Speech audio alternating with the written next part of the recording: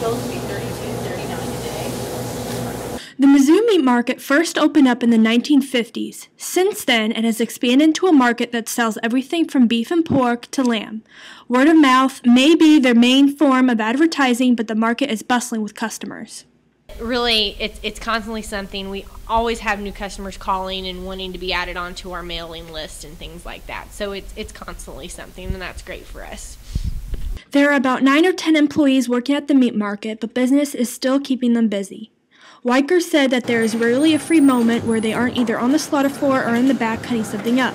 Customers can use student charge, adding to the list of reasons why they prefer going to the Mizzou market for their meat. You know that their stuff's going to be fresh. It's not going to be stuff that's been out for, you know, too terribly long. Um, I like the fact that you can ask them if they have anything fresh in the back that's not frozen, and they usually do.